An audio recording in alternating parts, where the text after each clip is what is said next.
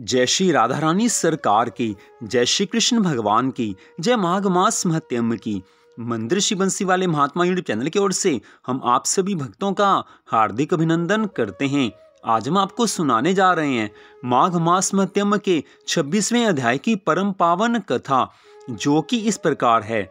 पथिक कहने लगा कि, हे प्रेत, तुमने सारस के वचन किस प्रकार और क्या सुने थे? सो सब कृपा करके कहिए। प्रेत कहने लगा है कि इस वन में कुहरा नाम की नदी पर्वत से निकलती है। मैं घूमता घूमता उस नदी के किनारे पहुँचा और थकावट दूर करने के लिए वहीं पर ठहर गया।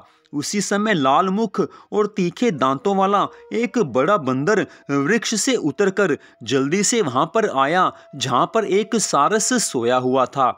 उस चंचल बंदर ने कई एक पक्षियों को देखकर उस सोए हुए सारस को दृढ़ता से पैरों से पकड़ लिया और तो सब पक्षी उड़कर वहाँ से चले गए। परंतु सारसी भयभीत होकर विलाप करते हुई वहीं पर रुक गई है। नींद के दूर होने तथा तो भय से नेत्र खोलकर सारस ने बंदर को देखा और मधुर वाणी से कहने लगा कि तुम बिना अपराध मुझे दुख क्यों देते हो? इस संसार में राजा भी केवल अपराधियों को ही दंड देता है। तुम्हारे जैसे श्रेष्ठ प्राणी किसी को पीड़ा नहीं देते। हम अहिंसक और दूसरे के कामों को नहीं देखते।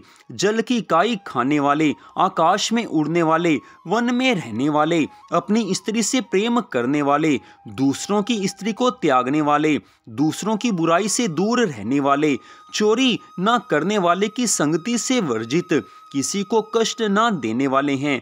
सो इस प्रकार मुझ निरपराधी को, हे बंदर, तुम छोड़ दो। मैं तुम्हारे पहले जन्म के सब वृतांत को जानता हूँ। यह वचन सुनकर वह बंदर उसको छोड़कर दूर बैठ गया और कहने लगा, कि तुम मेरे पूर्व जन्म के वृतांत को कैसे जानते हो? तुम अज्ञानी पक्षी हो और मैं वन में घूमने वाला हूँ। सारस कहने लगा है कि, मैं अपनी जाति के स्मृति के बल से तुम्हारे पूर्व जन्म के विषय में सब कुछ जानता हूँ।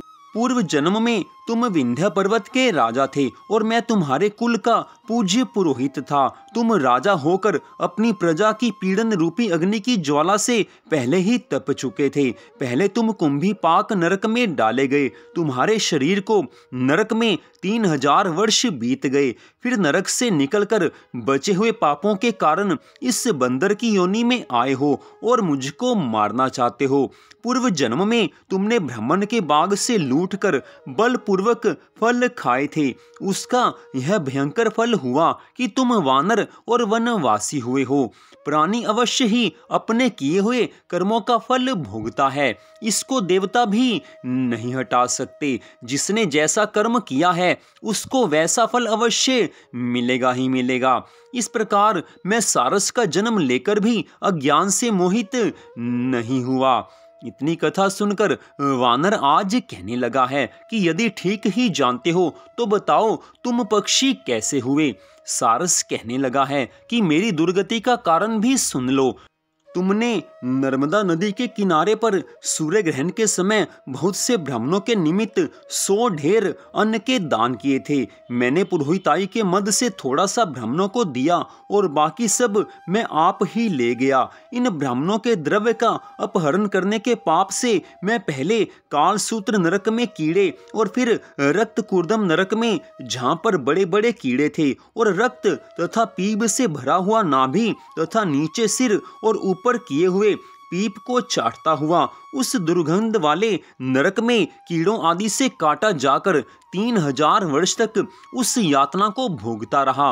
मैं नरक के दुख का वर्णन नहीं कर सकता। फिर नरक की यातना से मुक्त होकर यह सारस का मैंने जन्म पाया, क्योंकि पूर्व जन्म में अपनी बहन के घर से कांसे का बर्तन चुराया था। इसको मैंने एक जुआरी को दिया इसी से मैं सारस की योनि में आया और यह मेरी स्त्री सारसी हुई। यह सब मैंने तुमसे अपने कर्म का फल कहा है। अब भविष्य की भी बात सुनो। अब मैं, तुम और यह मेरी स्त्री भी हंस होंगे और काम रूप देश में सुख से निवास करेंगे। फिर इसके पश्चात गौ की योनि में और फिर जाकर दुर्लभ मनुष्य योनि को प्राप्त होंगे। इसमें मनुष्य, पाप और पुण्य दोनों ही कर सकता है।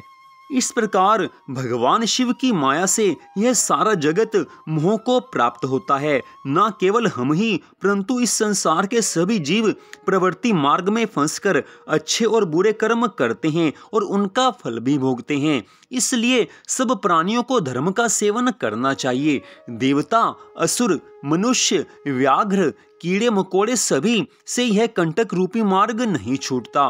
केवल वेदांत जानने वाले योगी ही इस मार्ग से बच सकते हैं। इसी कारण से बड़े बड़े महात्मा भी कर्मफल को टाल नहीं सकते हैं। उपाय से तथा बुद्धि से कोई भी इसको नहीं बदल सकता। जैसा जिसने कर्म किया है, उसको वैसा फल अवश्य मिलेगा ही मिलेगा।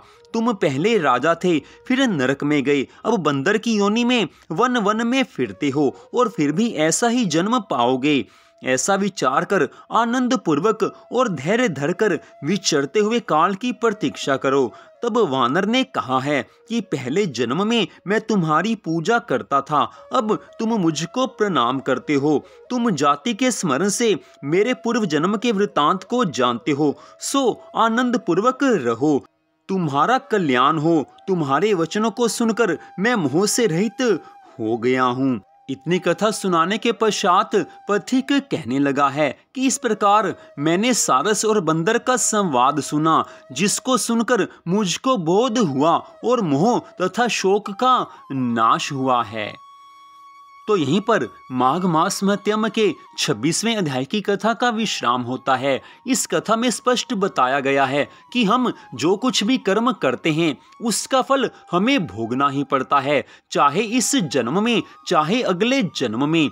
हमने अच्छे कर्म किए हैं तो उसका अच्छा फल हमें अवश्य प्राप्त होगा। लेकिन अगर हमने बुरे कर्म किए हैं तो उसका बुरा फल हमें प्राप्त होगा ही होगा। अपने कर्म फल से हम किसी भी तरह से नहीं बच सकते। अगर हम भगवान की भक्ति करते हैं तो इससे हमारे पूर्व जन्मों के पापों का नाश होता है। इसलिए प्रति क्षण हर क्षण में, हर श्वास में हर समय भगवान की भक्ति में अपने मन को लगाना चाहिए। ना जाने कितने जन्मों में हमने कैसे कैसे पाप कर्म किए हैं, जिसका फल हमें आज किसी न किसी रूप में मिल रहा होगा और आगे भी मिलेगा। इसीलिए कहा जाता है कि मनुष्य जीवन अगर प्राप्त हो गया है तो भगवान की भक्ति करके भगवान को प्रसन्न कर लेना चाहिए। भगवान प्रसन्न होंगे तो हमारे पूर्व जन्म के पापों का और इस जन्म में हमने जो पाप कर्म किए हैं, उन सब पापों का नाश भगवान एक ही क्षण में कर देंगे।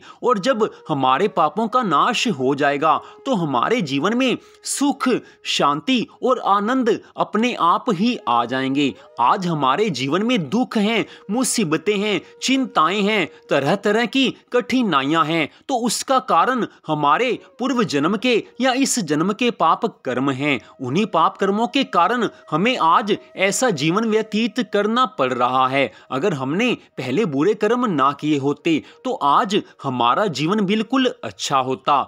लेकिन जो हुआ, सो हुआ। उसको याद करने से कोई लाभ नहीं है। उससे शिक्षा तो ली जा सकती है, लेकिन उसको केवल याद करने से कोई लाभ नहीं है। हमारे धर्म ग्रंथों में स्पष्ट बताया गया है कि भगवान की भक्ति हर समय करते रहना चाहिए, ताकि अपने जीवन को सुधारा जा सके और इस भव सागर से पार हुआ जा सके। सदा ध्यान में रहे कि भव सागर से पार उतरने के लिए केवल भगवान की भक्ति ही एकमात्र साधन है। भगवान की भक्ति के बिना कभी भी कोई भी इस भव सागर से पार नहीं हो सकता। इसलिए हर समय भगवान को याद करते रहना चाहिए। तो आज की इस कथा को सुनने के लिए आप सबका हार्दिक धन्यवाद।